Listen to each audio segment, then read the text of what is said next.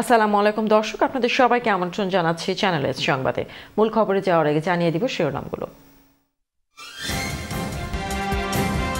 সাত শতাধিক ক্যান্সার রোগী সহ তিন বছরে বাইশ হাজারের বেশি রোগীকে সেবা দিয়েছে Beanibazar cancer and general hospital. আটাশে May channel S এর রামাদান আপিলে পাশে থাকার আহ্বান।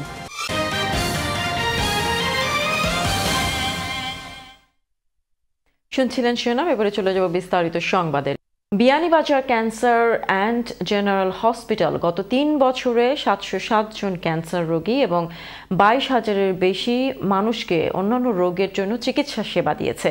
বুধবার ইস্ট লন্ডনে একটি অভিজাত হোটেলে হাসপাতালের আয়োজনে অনুষ্ঠিত প্রোগ্রেস রিপোর্ট মিটিংয়ে এসব তথ্য জানানো হয়। আরও বলা হয়, প্রতি মাসে পুয়ার ফান্ডের মাধ্যমে বিপুল সংখ্যক রোগীকে সেবা দেয়া হচ্ছে এবং প্রতি মাসে প্রায় এক লাখ টাকা খরচ হচ্ছে। মিটিংয়ে আশা প্রকাশ করা হয়, আঠাশে May channel S M Ramadan অ্যাপিলে সবাই এই হাসপাতালের পাশে থাকবেন।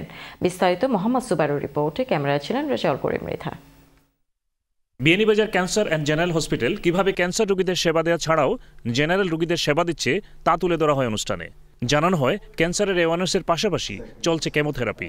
দু হাজার পনেরো থেকে দু হাজার আঠারো পর্যন্ত মোট বাইশ হাজার একশো ছাপ্পান্ন জন জেরান পেশেন্টকে সেবা দেওয়া হয়েছে। সাতশো সাতজন ক্যান্সার রোগী স্পেশালিস্ট ডক্টরের সেবা নিয়েছেন। এছাড়াও ইএনটি তেরোশো জন সার্জারির দুশো জন গাইনিতে একশো তেত্রিশ জন সেবা নিয়েছেন। পুয়ার ফান্ডের সহযোগিতা নিয়েছেন এগারোশো জন। এই ব্রিটিশ ব্যবসায়ী মহিলা হাসপাতাল ঘুরে অভিভূত.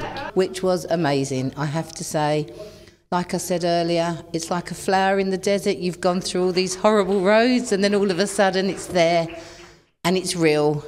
And it was, it was, it was busy.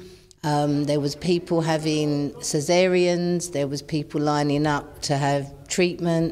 কয়েকজন ব্রিটিশ বাংলাদেশি ডাক্তার অনুষ্ঠানে উপস্থিত ছিলেন তারাও এই মহতি কাজে যুক্ত থাকবেন বলে জানালেন যারা মেইন স্ট্রিম ডাক্তার এখানকার তাদেরকে আমরা আমি ইন্সপায়ার করতেছি যে এখানে এসে ওদের যে এক ইম্পোর্ট যেটা আছে ওদের যে স্পেশালিটি যেটা আছে এটা দিয়ে একটা ব্রিজ ক্রিয়েট করা।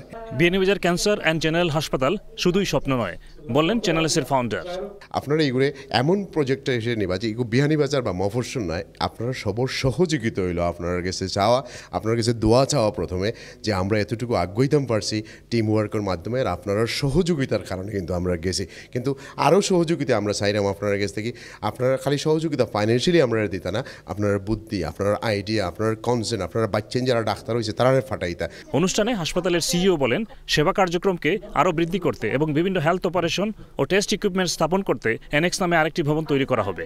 আমাদের এই প্রজেক্টের সামনে নিয়ে যেতে হলে আজকে আমরা যে এনএক্স বিল্ডিং যেটা আমরা করতে যাব সেটাই আমাদের চারটা ডিপার্টমেন্ট থাকবে।